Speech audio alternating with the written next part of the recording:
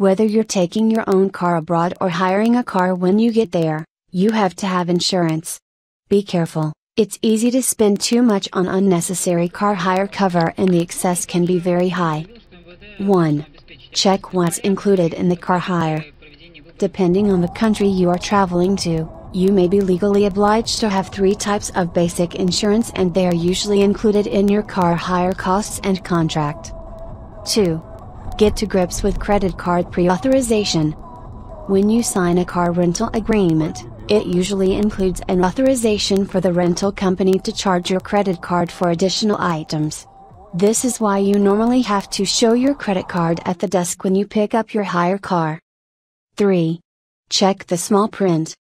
Read all terms and conditions online before you buy, although sometimes the full documentation is only available at the desk, when you go to pick up the car. Watch the excess on your hire car insurance. Most car hire companies charge a very high excess, between £500 and £1,500. They could potentially end up charging you very large amounts for even small scratches.